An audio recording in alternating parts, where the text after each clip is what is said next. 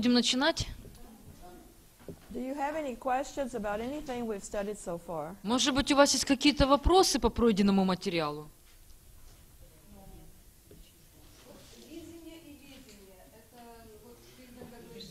А в английском это вообще одно слово, поэтому это не вопрос. А у них еще видение, это тоже одно слово. Да. Поэтому кто как хочет, так Does she это. have a question? Well, it's not a question. I mean, you'll not be able to answer it because, like, you have one word, vision, and we have three words. Oh, Но у них одно слово, vision. А еще есть видение. В английском это одно слово. We have three words and you have one word. So. English is so simple, isn't it? Да, английский очень простой. Well, let's go on to number three, obedience. А третий пункт – послушание. Now, note, remember in Acts chapter 16, uh, we won't go back there, but remember that when Paul had the vision of the man from Macedonia, immediately he did what God told him То есть помните Деяние 16 глава, когда а, Павел в видении увидел мужа македонянина, он сразу же сделал то, что ему было сказано. You know, that year I had the donuts and coffee for the high school students. Um, there was a reason why God told me to do it that year. И в тот год, когда я раздавала студентам а, печенье и кофе, была причина, почему Бог сказал мне это делать. There were students there that he wanted to reach. Там были студенты, которых он хотел достичь. And so only И только Бог знает, что потом произошло с этими студентами. I know two young students I talked to were seniors in high school and they were going to join the Marines when they graduated. Я знаю, что а, два ученика, с которыми я тогда разговаривала, а, они после окончания школы хотели а, стать моряками. Now this was around 1997. Это было где-то в 87 году. So we don't know what happened to those young men. Ho- hopefully they they uh, they're walking with God. То есть мы не знаем, что произошло с этими молодыми людьми, но мы надеемся, что они ходят с Богом. But when God gives you a vision, be prompt in obeying it. Но когда Бог дает вам какое-то ведение или видение, а, или да, будьте ему послушны. What would you say that was Because you say one word and uh, I have to, like I said two words and they added the third one. Okay. okay. Uh, on obedience, let's look at two verses. То есть послушание. Давайте рассмотрим два стиха. Romans 1 5. Римлянам 1.5. This was written by Paul to the church in Rome. То есть э, это пишет Павел э, церкви в Риме. It's Paul says through him, through him, through God, the Son of God, То есть через которого, то есть э, через Сына Божьего, we have received grace and apostleship for obedience to the faith among all nations. мы получили благодать и апостольство, чтобы во имя Его покорять вере все народы. Now he's talking about apostleship here. Здесь он говорит об апостольстве. An apostle is one who goes to another nation Апостол – это тот, кто идет в другие народы. And it says here that Paul received his apostleship for obedience. Is that what it says in Russian? No. Нет? У нас слово «послушание» в этом стихе не наблюдается, да? Doesn't have the word obedience? Oh, I'm sorry. I'm sorry. So, what does it say in English? He received grace and obedience. He received grace and apostleship for obedience to the faith. А, получил благодать и апостольство в послушании вере. What does it say in Russian, Vika? Uh, we received uh, grace and apostleship so that in his name conquer all nations to faith. All right, English says for obedience he does that. Ну, в английском еще сказано, что в послушании, то есть у нас одно слово пропустили. You remember Christ said, Go to all the nations. Помните, Христос сказал, идите во все народы. What Paul is saying, he's obeying his word. He's obeying the word of Yeshua. И здесь Павел говорит, что он послушен словам Иешуа. And uh, he's going to all the nations that God allows him to go to. И он идет во все народы, э, куда Господь его допускает. Church historians uh, believe that the Apostle Paul went to Spain also. Историк, и, и- историки церкви э, верят, что апостол Павел побывал и в Испании. There was a Jewish community there, large Jewish community. Там была большая еврейская община. Now let's turn to 1 Peter chapter 1. А теперь 1 Петра, 1 глава. And let's look in chapter 1 and read verse 2. Второй стих. He's writing, Peter is writing to the pilgrims of the dispersion. These were the Jewish believers who had been dispersed from Jerusalem А, Петр а, пишет э, церкви в рассеянии. То есть это были верующие, которые были изгнаны из Иерусалима. They'd gone out to Pontus and to Galatia, to Cappadocia, to Asia and Bithynia. Они отправились в Понт, Галатию, Каппадокию, Асию и Вифинию. He called them the elect. Он называет их избранными. Someone please read verse 2. Кто-нибудь, пожалуйста, прочитайте второй стих.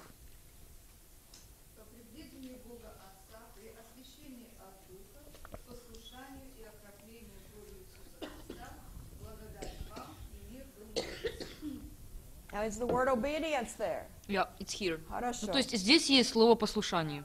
Okay.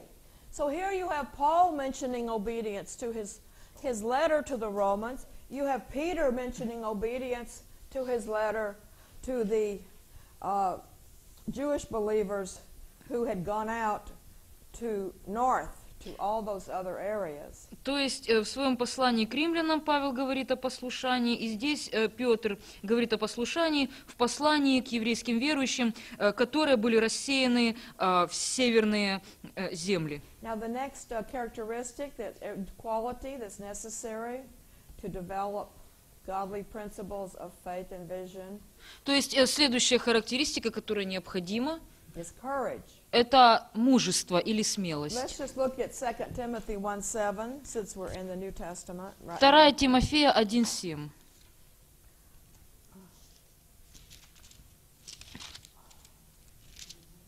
This is a very famous verse. Это очень известный стих. For God has not given us a spirit of fear, «Ибо дал нам Бог не духа боязни, но силы и любви и целомудрия». А теперь Исайя 12.2.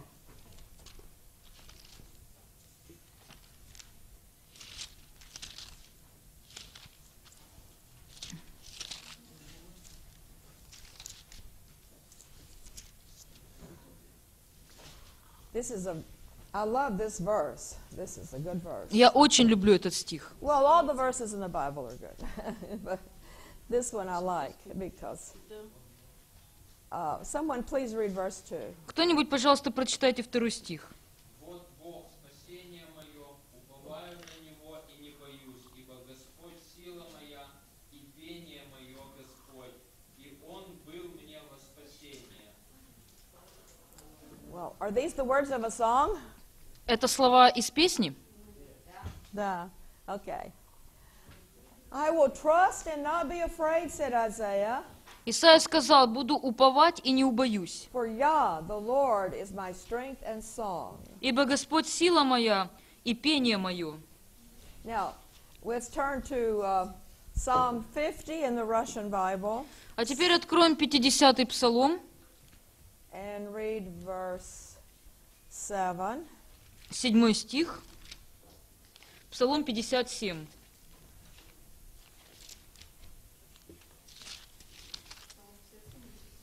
50-й псалом, седьмой стих. Psalm 50 in the Russian Bible, verse 7.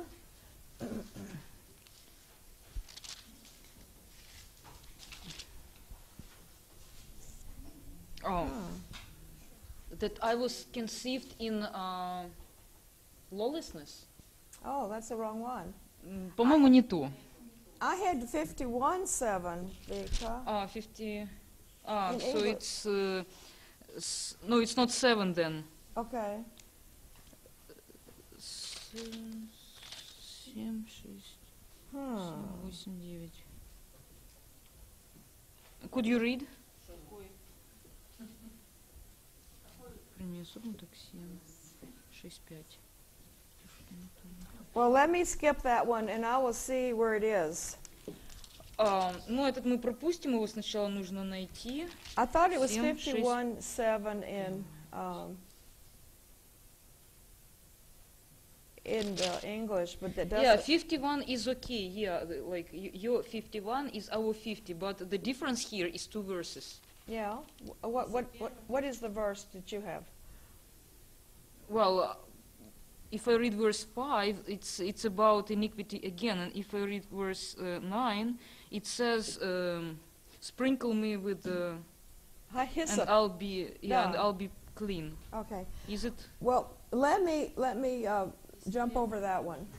Ну, пока пропустим, потому Let's что go to Psalm 117, э, 117 псалом, and I believe this will be correct.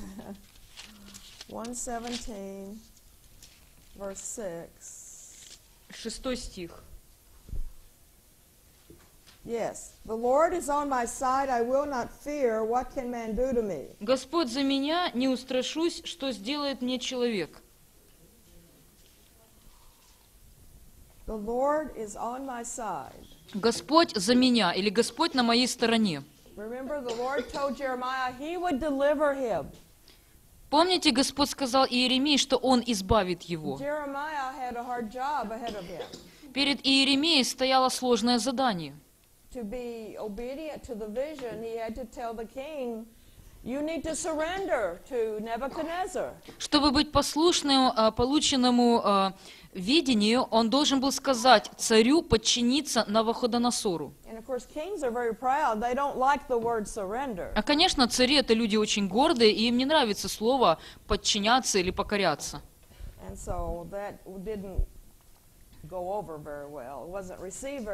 Поэтому встреча с царем прошла не очень тепло.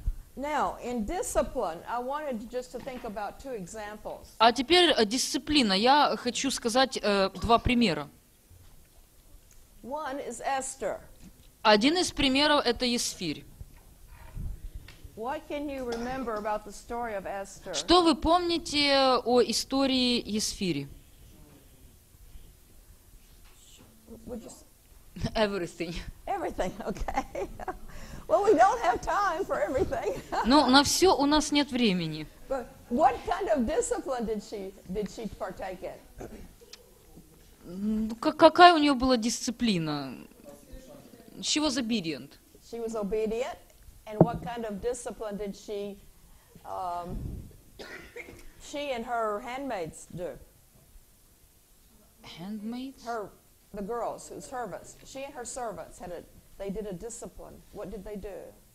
Что делала она и ее служанки э, в знак дисциплины? Ну, может, кто-то знает, э, что сказать?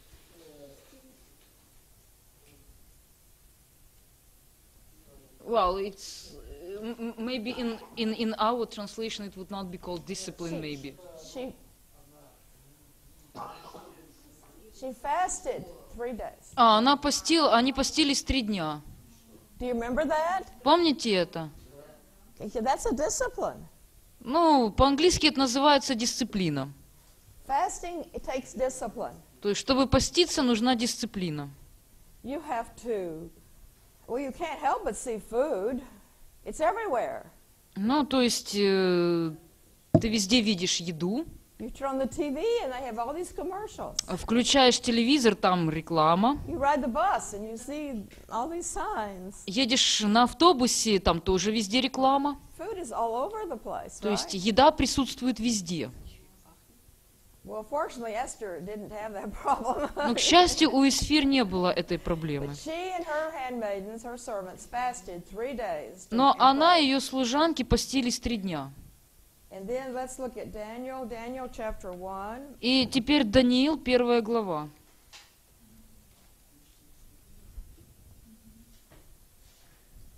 verses 14 to 17. С 14 по 17 стихи. I'd like somebody in Daniel chapter 1, 1 to read verses 14, 15, 16, and 17. 'cause that's- Кто-нибудь с 14 по 17 стихи прочитайте. Он послушался их в этом и испытывал их десять дней. По истечении же десяти дней лица их оказались красивее, и телом они были полнее всех тех прокатов, которые питались царскими яствами. Тогда Амелсар брал их кушанье и вино для питья и давал им овощи. И даровал Бог четырем всем отрокам знания и разумение всякой книги и мудрости. А Даниилу еще даровал разуметь и всякие видения и сны. Now, this was a fast of just vegetables. Это был а, пост на овощах. This is a good fast to do. Это хороший пост. Uh, in verse 12, it says they had vegetables to eat and water to drink. В 12 стихе сказано, что они ели овощи и пили воду. And um, they did that for 10 days. И делали это 10 дней. Now, in verse um, 17, what was the result of this fast? И в 17 стихе каким был результат этого поста?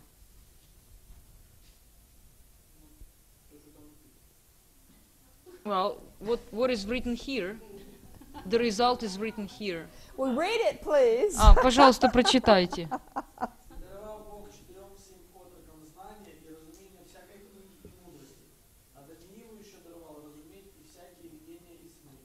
Now, in your own words, what did the four men receive from God as a От- result of fast? А теперь своими словами скажите, что эти четыре э, человека получили от Бога в результате поста.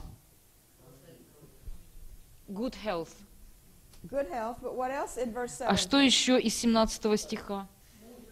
Wisdom. Wisdom. Vision. No, just the four men. Just the four men. It says the four men, God gave them knowledge Бог дал им знание, and skill and wisdom. разумение и мудрость. Now, what did the Lord give Daniel? А что Господь дал Даниилу? Ну, он дал им то же самое, еще плюс вот как бы развлечение снов. The same and in addition understanding uh, dreams and visions. Right. Understanding. Remember, we said that understanding is very important in having visions. Да, разумение. Помните, мы говорили, что разумение очень важно, э, когда речь идет э, о видениях и снах. And if we were to study the book of Daniel, we would read where Daniel had a lot of visions, didn't he? И если бы мы изучали э, книгу Даниила, то мы бы увидели, что Даниил а, видел много снов и видений.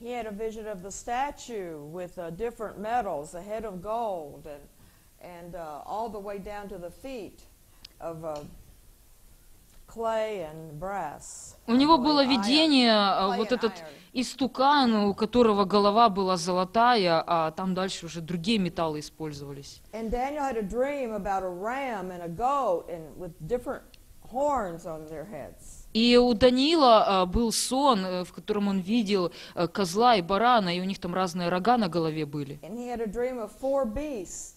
Также э, у, у него был сон о четырех зверях.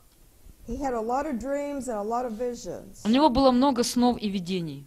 And God gave him the interpretation, И Бог дал ему истолкование. not only for his, but for the kings also. И не только для его видений и снов, но также и для снов царя. Daniel was a man of discipline. А, Человек, э, Даниил был человек дисциплины. How many times did Daniel pray a day? А, Сколько раз в день молился Даниил? Три. Три раза. Он был человек дисциплины и молитвы. И также он а, дисциплинировал свое тело. Он не ел а, ту пищу, которая а, была вредна для его тела. You know, our body reproduces itself every seven years. А, знаете, наше тело обновляется каждые семь лет. That is the cells, the cells. Это, это касается клеток. And the type of cell that we have depends upon the food we eat. И то, какие у нас клетки, зависит от того, э, какую пищу мы кушаем. So if we eat bad food, we're going to develop bad cells. Если мы едим плохую пищу, то в нас развиваются плохие клетки. If we eat good food, we'll develop good cells. Если мы едим хорошую пищу, в нас развиваются хорошие клетки. every seven years we'll be healthy and strong until we reach 80. Ну и тогда каждые 7 лет мы будем обновляться, мы будем здоровыми, сильными, пока не достигнем возраста 80 лет. God has promised to give us three score and ten years, which is 70. Но, то есть Бог обещал дать нам 70 лет, and perhaps even 80. а может быть и 80. And some people live past 80 too. Некоторые люди живут и дольше. And so we can thank God for providing good food for us to eat. Так что мы можем благодарить Бога за то, что Он дает нам э, хорошую пищу для еды.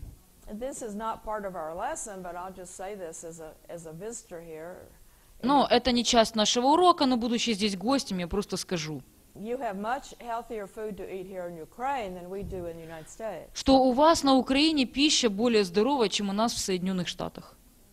So I, hmm? Move over here. No, I would say. like to. Да, я бы с удовольствием.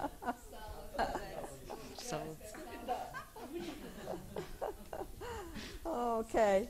All right. Let's go on to godliness and contentment. А теперь давайте перейдем а, к благочестию и, и, до- и удовлетворенности. go to 1 Timothy. 1 Тимофею. Now, you know, the Holy Spirit develops these qualities in us at different times in our lives. Знаете, Дух Святой развивает эти качества э, в нас э, на- в разные этапы нашей жизни.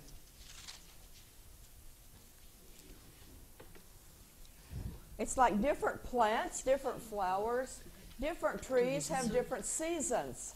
Это как э, разные цветы а, р- э, расцветают э, в разное время года.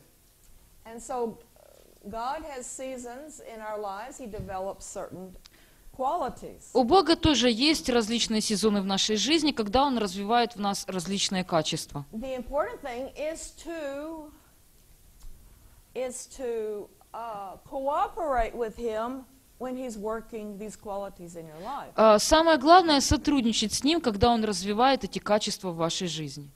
Because if you don't, then He will have to put that aside, but He will go back to it later. Потому что если вы с Ним не сотрудничаете, то Ему придется отложить это в сторону на какое-то время, а потом Он снова к этому вернется. Like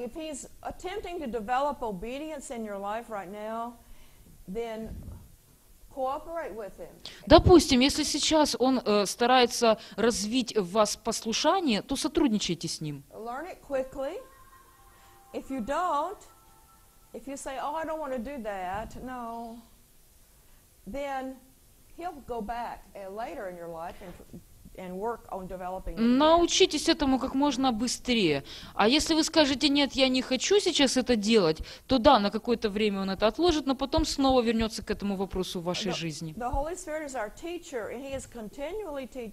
Дух Святой наш учитель, и он а, непрестанно учит нас. Он не уходит на перерыв, и у него нет отпуска. So cooperate with Him. Learn your lesson quickly, and you can go on to the next level. Поэтому сотрудничайте с ним, а, побыстрее учитесь тому, чему он вас учит, и переходите к следующему уроку. Now, 1 Timothy 6, verse 1 6. Тимофея, 6 глава, 6 стих. Someone please read verse 6. Кто-нибудь, пожалуйста, прочитайте. Да, 1 Тимофея 6.6.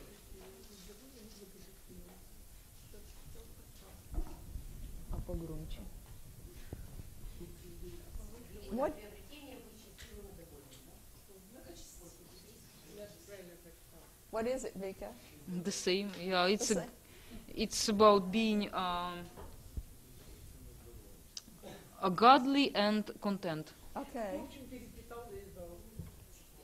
What'd she say? Just nothing. What's everybody laughing about? Tell me. Ну да, теперь рассказывайте, чего вы все смеетесь.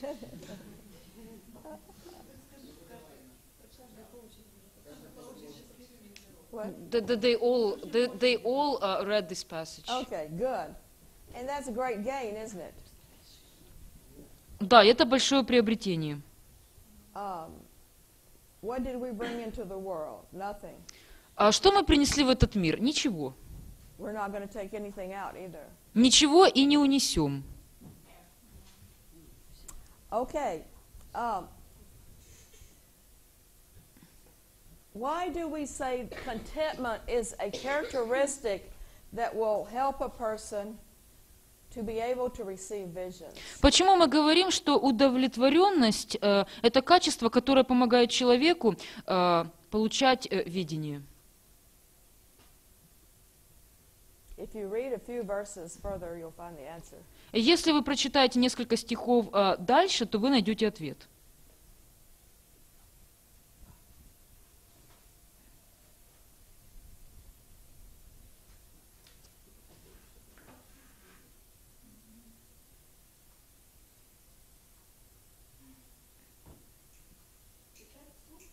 Do they need to read it out loud? No, just I just want you to answer in your own words. Не, просто ответьте своими словами. Why is contentment so important Почему так важно быть in удовлетворенным? receiving vision? In Uh, you, you И почему это помогает вам получать видение? Say? Because it's gratefulness. Right, but look in uh, verse 9. Девятый стих. The English says, Because we do not seek for material goods, material things. well, if you're not content, you're going to be worried and anxious and restless. А если вы не удовлетворены, а, то вы а, будете в беспокойстве, в тревоге, в волнениях. If you're worried and anxious and restless, you're not going to be able to receive anything from God. А если вы в тревоге, в беспокойстве, в волнении, то вы ничего не сможете получить от Бога. It says in verse 10, I'm sorry, verse 9, А в девятом стихе сказано, that men have drowned in destruction and perdition. Oh, спасибо. Men have drowned in destruction and perdition. Сказано, что а желающие обогащаться впадают в искушение и в сеть. What kind of vision can you receive if you're drowning?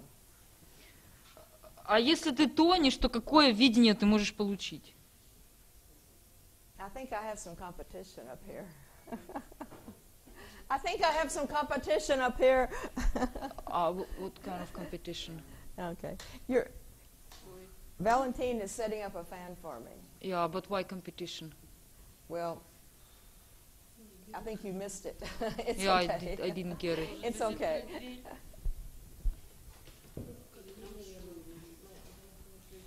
The lights are very warm. А, там, да, там, наверное, фонарь А. греет. Спасибо. Да нет.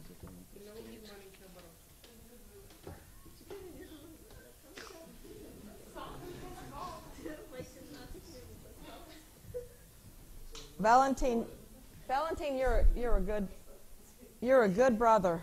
Да, Валентин хороший брат. Да.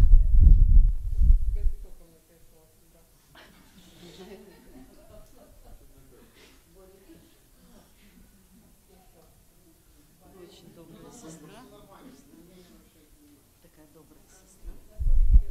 С такими пожеланиями. Well, we only have 20 minutes. Okay. Ну, у нас осталось всего 20 минут, так что не страшно.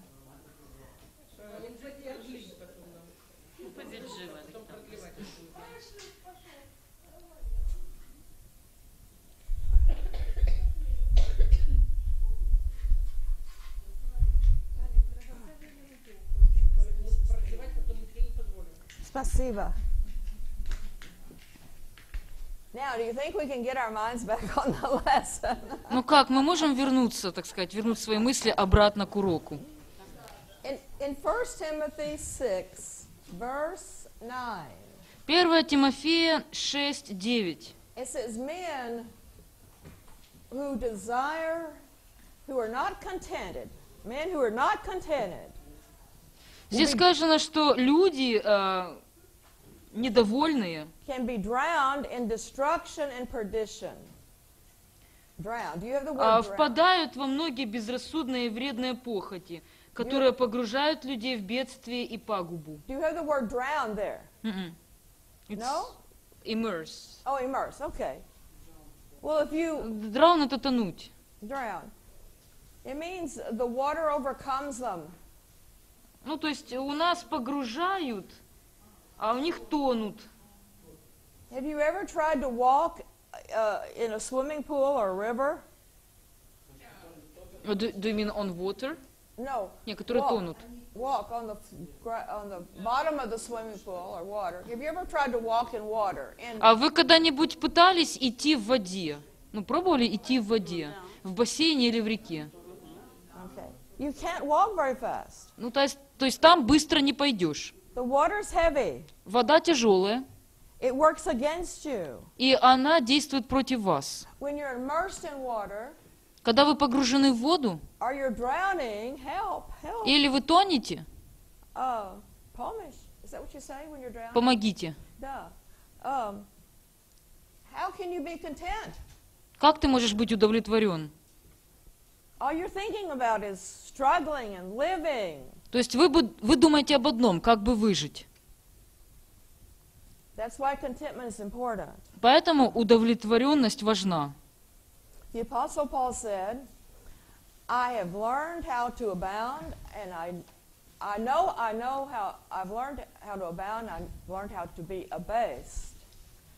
Апостол Павел э, сказал, что я научился жить э, в изобилии и в недостатке. Это значит, что в какие-то моменты его жизни у него было много денег, а в какие-то другие времена денег вообще не было.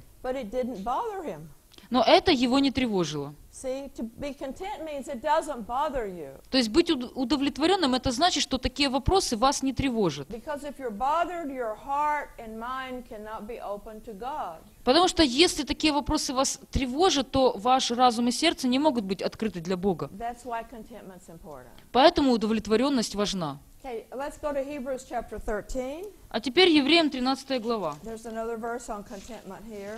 Здесь мы найдем еще один стих э, о удовлетворении. Евреям 13 глава. In verse 5.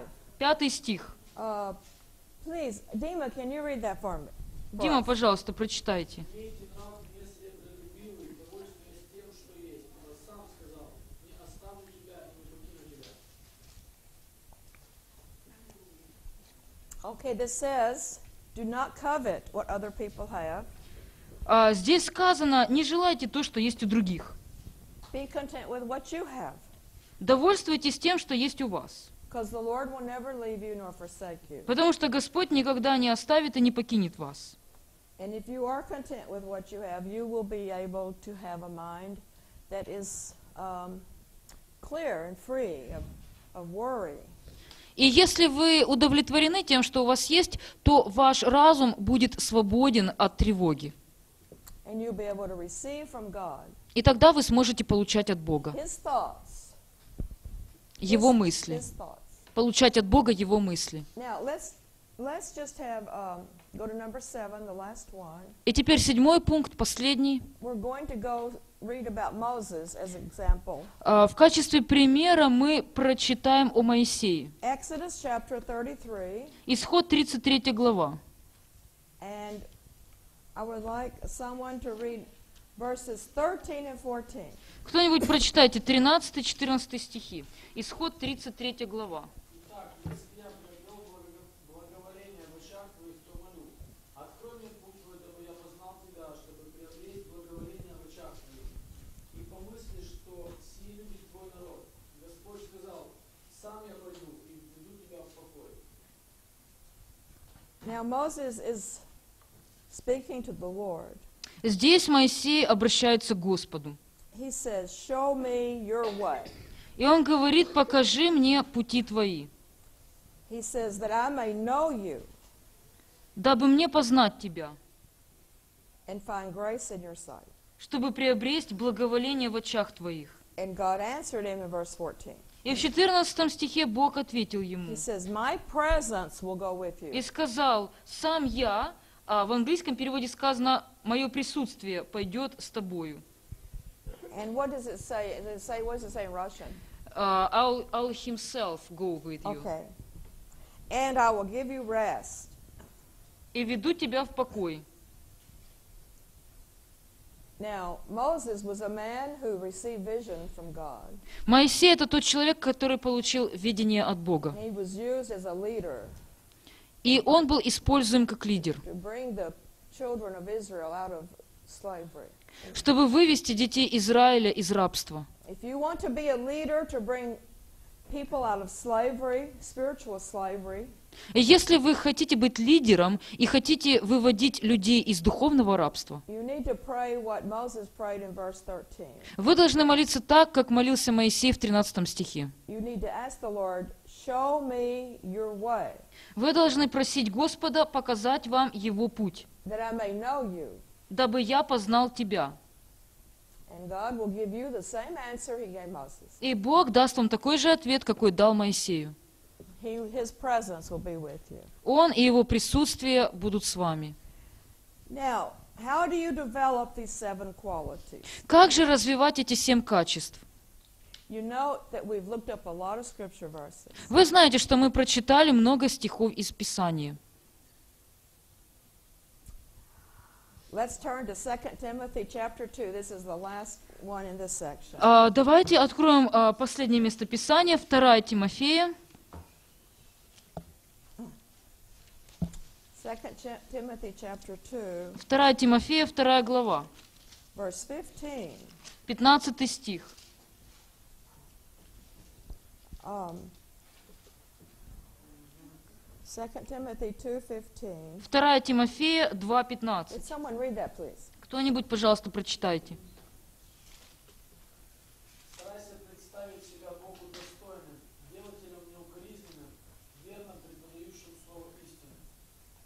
This verse talks about being a worker who is not ashamed. То есть э, здесь говорится, что мы должны быть делателями безукоризненными. A worker who's diligent, Мы должны э, быть э, усердными, who will be approved by God. э, од- одобряемыми Богом. They will not be ashamed. Э, То есть, чтобы нам нечего было стыдиться, They will rightly interpret the word of truth. верно преподающими слово истины. So, the way to develop these qualities in your life is to become an earnest student of the Word of God. То есть, как развивать эти качества в своей жизни? Мы должны стать серьезными и искренними студентами Слова Божьего. I'm sure that's why you're enrolled here in the Institute. И я думаю, что именно по этой причине вы находитесь в этом институте. Вы хотите больше узнать о Слове Божьем, не так ли?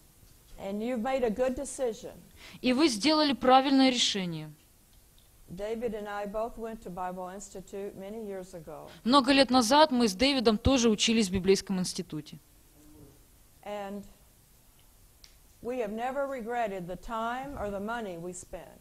И мы никогда не жалели ни о потраченном времени, ни о потраченных деньгах. Now, David's parents were not very happy with our decision. А, Родители Дэвида были не очень рады нашему решению. We were married then, we had just been married. Мы тогда только поженились. And instead of going to study at the university to become an engineer, David decided to change plans and go to Bible. И вместо того, чтобы учиться в университете, э, чтобы стать инженером, э, Дэвид решил э, учиться в библейском колледже. And so that meant David was not going to be a professional man. Это означало, что Дэвид не сможет приобрести профессию. His father was a doctor, Его отец был врачом, his brother was a doctor. его брат был врачом. What was David going to be? А кем должен был стать Дэвид? A doctor. Well, David became better than a doctor. Но Дэвид стал лучше, чем врачом. He became a spiritual doctor. Он стал духовным врачом, Yeah. to heal the heart and, чтобы исцелять сердца. И тела тоже. Бог дал Дэвиду дар исцеления.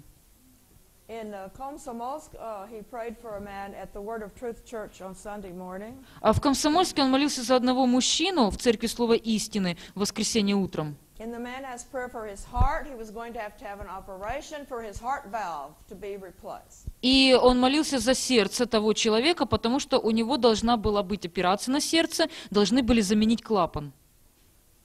Then later that week, we had a healing service, and the man's wife came to the healing service. И позже на той же неделе было служение исцеления, и жена этого человека пришла на это служение. And David said, How is your husband? И Дэвид спросил у нее, а как дела у вашего мужа? And the wife said, He went to the doctor, and the doctor checked his heart, and he said there was nothing wrong with his heart. He did not need to have the operation. И жена сказала, что а, ее муж пошел к врачу, уже готовясь к операции. Врач проверил его сердце и сказал, что операция не нужна, сердце в порядке.